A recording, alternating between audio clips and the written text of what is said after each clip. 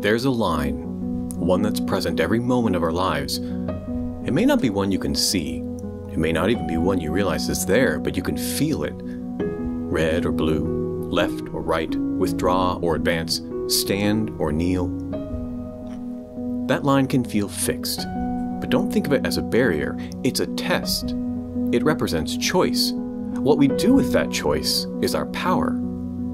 We had the power to cross the line. We should have the audacity to cross the line, a duty to choose a side.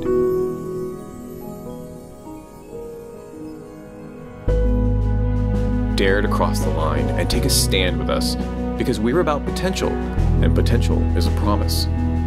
A promise that if we stand up, if we use our voice, if we wake up for this, if we fight for this, if we change and then change some more, if we commit to something greater than ourselves, something revolutionary will happen.